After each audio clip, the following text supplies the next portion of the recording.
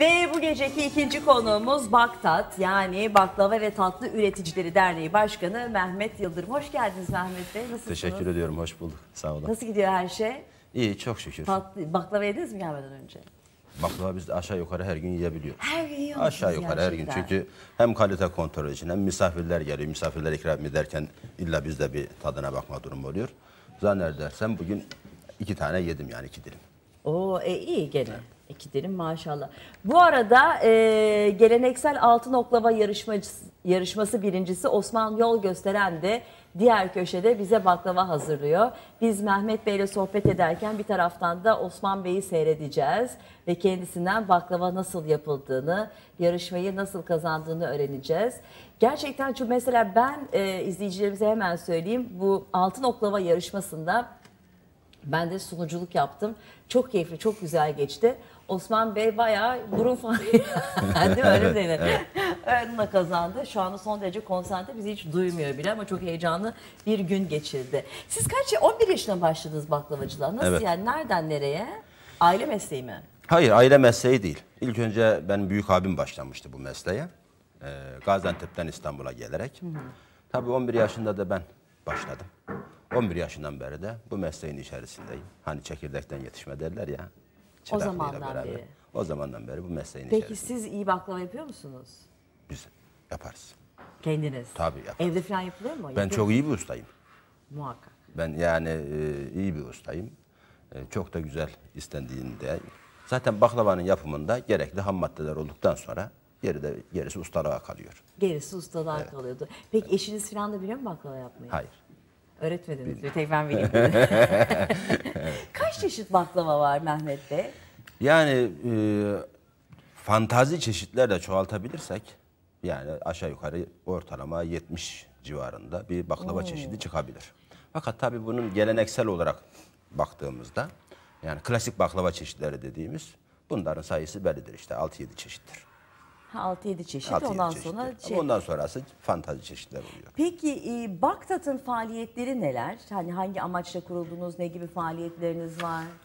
Şimdi e, Sabah Hanım bizim 2001 yılında Baktat kuruldu. E, daha önce baklavacıların herhangi bir birleştiği bir dernek veya bir e, sivil toplum örgütü yoktu.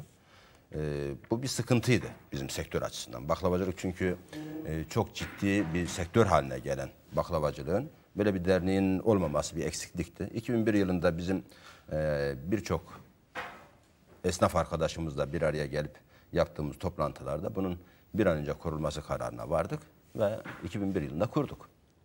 Kurduktan sonra gerçekten çok kısa bir zaman içerisinde sektörde sektörde birlik ve beraberliği sağladık. Ve Türkiye'nin en önde gelen büyük markalarından oluşan yönetim kuruluyla da, kuruluyla da çok güzel hizmetler yaptı sektöre. Ve şu anda baklavacılığın gelmiş olduğu nokta e, ilk e, 2001 yılından öncesiyle şimdikini kıyasladığımızda en az 7 kat pazar payı artmış. Oo. Evet. Hiç olmayan ihracat şu anda gelmiş olduğu nokta 3 milyon dolarlara ulaşmış. Vay bayağı bir şey yani. Tabii bu derneğimizin e, güzel çalışmalarıyla, e, tüketiciyi bilinçlendirmeleriyle bir tanıtım e, faaliyetlerinden kaynaklanan bir artısı oldu. Bu arada Osman Bey sizde mikrofon var. Siz şu anda yarışmada değiliz herhalde konuşabilirsiniz değil mi? Evet, evet. Siz e, kaç yıldır baklava açıyorsunuz? 19 sene oldu bu seneyle. beraber. 19 seneden beri bu işin içindeyim yani. 19 senedir Evet, hem de. ilkokuldan Peki, çıktık. Sizden baklava açmanın inceliklerini öğrenebilir miyiz? E, tabii ki baklava bir marifettir yani ustalıktır yani çok ince bir meslektir. Görüldüğü gibi de değildir yani bu iş yani sırrı zaten hamurun inceliğinde, ustalığında, Ha, kaliteliğinde. şimdi orada bir dakika. İşin sırrı hamurun inceliğinde mi? Tabii ha, incelikte, kalitesinde, malzemenin kalitesinde, yapılışında, ustalığındadır yani. Peki nelere dikkat ediyorsunuz siz yaparken? Genellikle yaptığımız işi ne olduğunu bilmek önemli. Yani ne için çalışıyoruz? Yani bu tat önemli. Yaptığımız işin tadı önemli yani. Kaç kat koyuyorsunuz? 15 kat koyuyoruz biz buna. Ondan sonra arasının yağ fıstığını koyuyoruz. Kaymağını koyuyoruz. Bir 15 kat da üzerine döşüyoruz. Sonradan 10 kat da üzerine yüzlük atıyoruz. Peki hanımlara ne tavsiye ediyorsunuz mesela şimdi şey baklava yapmak isteyenlere? E, ya da baklava yapacak olanlara biz çünkü dedik ki kağıdı kalemi elinize alın. E, kağıt kalem şimdi bu tür bak bu aynı baklava evde açılacak baklava. ama ev baklavası açılır. Ev baklavası yapılır. Bir kilo un alırız. Bir kilo una dört tane yumurta, dört yumurta, 10 gram tuz atarız. Bunu e, kulak memesi gevşekliğinde biz yoğururuz biz bunu. Ondan sonra bunu ufak pazı haline getiririz. 50'şer gram pazı haline. Pazı halinden sonra açarız biz bunu. Peki yufkanın böyle çok incecik olması lazımmış değil mi? Evet, Bakınca tabii, arkasının tabii, tabii. gözükmesi lazımmış. Önemli Bir olan bu bakabilir zaten. miyim? bir bakabilir miyim gözüküyor mu arkası? Ya e, kameraya tutun biz oradan görelim. Demin oklavadan kesmeden olsaydı daha güzel Ha, olurdu. o zaman doğru daha iyi olurdu. Bu şekil görsek daha güzel olur herhalde. Aa. Ha, tamamdır. Hoş Zaten e, hamur ince olmazsa lezzet alamayız. Yani şöyle baklava yediğiniz zaman bir sesi gelmesi lazım yediğiniz zaman yani. Doğru. Yoksa diş kesmez. Kesse bile lezzet alamayız.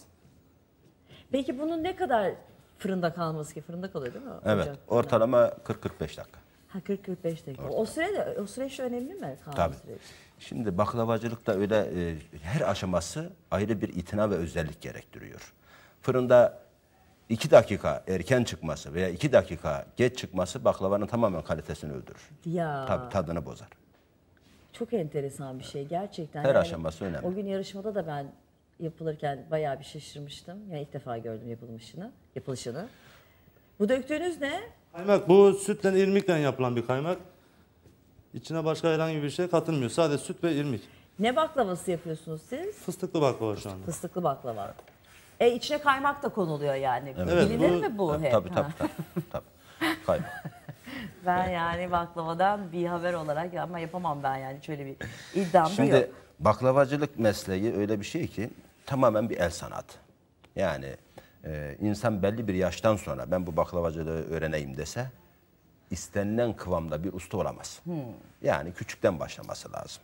Ona gönül vermiş olması Yani hem ona lazım se- işte. mesleğini sevmesi lazım. Çünkü biraz da kabiliyet işi, el sanatı olduğu için kabiliyet işi. Bunun bir makinesi daha yok. İnsan elinden çıkıyor. Tamamen ustalığa dayalı. Dolayısıyla küçük yaşta başlamak gerekiyor işe. Tabii bizim Osman Usta da küçük yaşta aynı benim gibi mesleğe başladı. Ee, bir usta en az 6-7 senede yetişiyor. 6-7 kadar, sene. 6-7. Yani şöyle diyeyim ben size Sabah Hanım.